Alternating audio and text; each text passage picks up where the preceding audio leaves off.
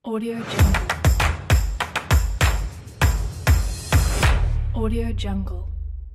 ternyata pelatih sepak bola Indonesia yang terkenal Sintayong yang sudah mengabdi sejak 2019 di Indonesia itu pernah mengusir pemain sekitar 10 orang. Dan 10 orang ini tidak cocok dengan Sintayong bukan karena kemampuannya tetapi karena karakternya. Dikutip dari channel YouTube Yun Cheon Jae dan dari tp1news.com, Sintayong ini tidak suka dengan pemain yang satu berbohong, yang kedua tidak disiplin. Yang ketiga tentu tidak memenuhi perintah. Apa kata pelatih? Nah, dari tiga itu ada 10 orang yang pernah diusir, tapi nama-nama tidak kita sebut lah ya. Nah, Sintayong ini lucu. Jadi ketika ada pemain berbohong tanpa harus ngomong sebelumnya, itu langsung dikeluarkan. Ada pemain pagi-pagi sudah tidak ada dicari. Ternyata alasannya kakeknya meninggal. Nah, oleh Sintayong wajar dan diperbolehkan. Tetapi tiba-tiba keesokannya kakeknya masih hidup dan ikut nonton di pemusatan latihan. Langsung yang bersangkutan dipanggil, out. Ada lagi yang lucu, ada pemain yang disiplinnya sangat kurang. Waktu yang ditentukan dia tidak hadir, beberapa kali tidak hadir, langsung dicoret. Dan ada pemain yang tidak memenuhi perintahnya dan istilahnya sakar PDW dan itu langsung dicoret. Nah inilah yang membuat Pak Sintayong itu mampu membawa tim nasional kita, sepak bola kita, mulai punya bentuk, dan mulai bisa diharapkan oleh rakyat Indonesia serta memenangi berbagai pertandingan. Memang budaya kita, budaya yang masih dikotomis, masih antagonis. Kelihatannya baik tapi tidak. Kelihatannya rajin tapi tidak malas. Kelihatannya rajin tapi malas. Kelihatannya bisa ternyata tidak bisa kelihatannya patuh, ternyata tidak patuh. Karena ada munafik di bangsa Indonesia ini. Dan ketika Pak Sintayong melakukan itu, banyak yang kaget. Dan ternyata itu membawa perubahan. Ya, membawa perubahan. Sintayong mengatakan, selama melatih timnas Indonesia sejak 2019, Pak Sintayong mengaku sudah mencoret hingga 10 Katanya, makanya pemain jadi mudah berbohong. Jadi saya memutuskan jika ada yang berbohong, mereka langsung keluar dari tim.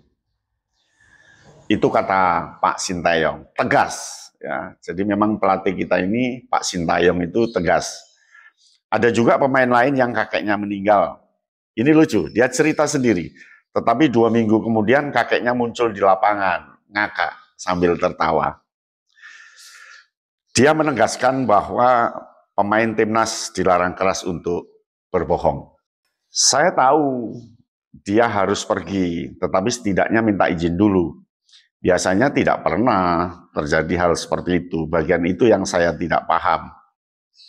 Salah satu yang paling parah adalah yang mengaku kakeknya meninggal tapi tidak meninggal. Pak Sintayong menyatakan tidak mempermasalahkan jika ada seorang pemain yang harus keluar dari TC karena ada urusan keluarga. Namun setidaknya pemain tersebut ya izin lah terlebih dulu dan tidak keluar dari tempat TC begitu saja tanpa adanya kabar. Nah ternyata banyak pemain yang melanggar aturan itu.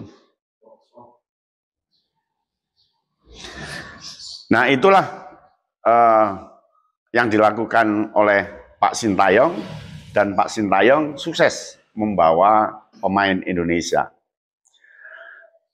Tampaknya itu terus diikuti oleh pelatih-pelatih yang lain sehingga U17 bisa sukses karena Nova coach Mas Nova ini ikut Pak Sintayong, tahu cara disiplinnya dan Pak Indra Safri juga ikut Sintayong mengamati, maka ini secara totalitas pemain Indonesia minimal berangkat dari sebuah kejujuran, disiplin, dan patuh. Ya, tiga ini memang sangat menentukan dalam dunia pelatihan.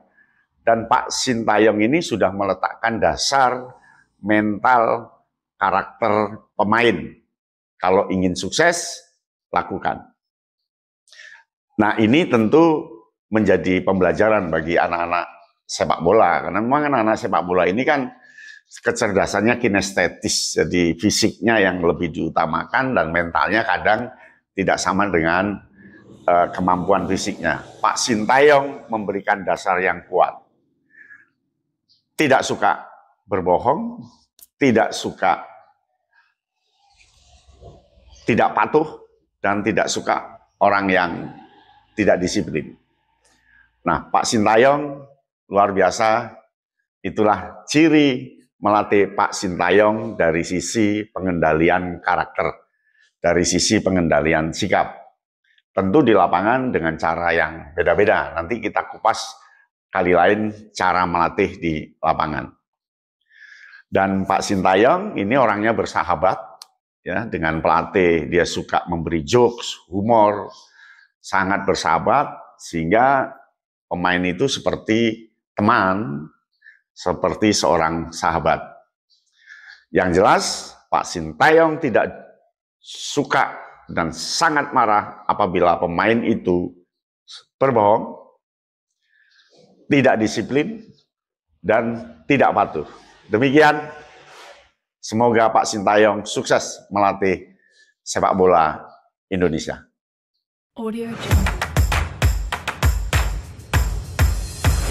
Audio Jungle.